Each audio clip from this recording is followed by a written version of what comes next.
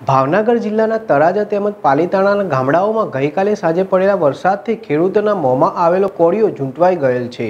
અવિરત વરસાદથી ખેડૂતો બરબાદ થઈ ગયા છે.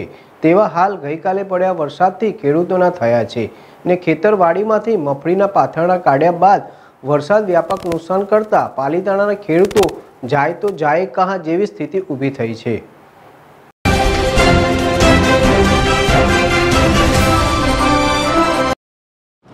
વરસાદી પાણીથી ખેતરવાડીઓમાં મગફળીના પથરાઓ પાણીમાં તરબરતર જોવા મળી રહ્યા છે. જિલ્લામાં હવામાન વિભાગની આગાહી બાદ ગત રાત્રે રાજપજરા, ઠાડજ એક ઇંચ જેવો વરસાદ ખાબકતા ખેડૂતોએ મગફળી કાઢીને પાથરા કરી રાખ્યા હતા.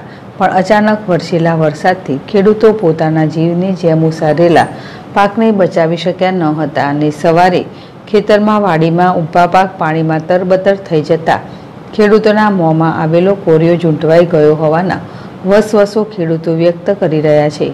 ચોમાસામાં અવિરત વરસાદ બાદ ખેડૂતોએ ઉછરેલા પાક પર વરસાદે વ્યાપક નુકસાન કર્યું છે.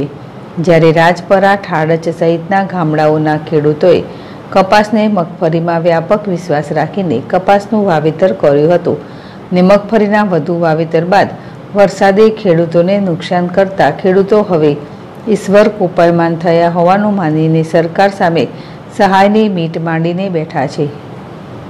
વિશાલ સાગઠિયા જેડેશ ટીવી, પાલીતાણા.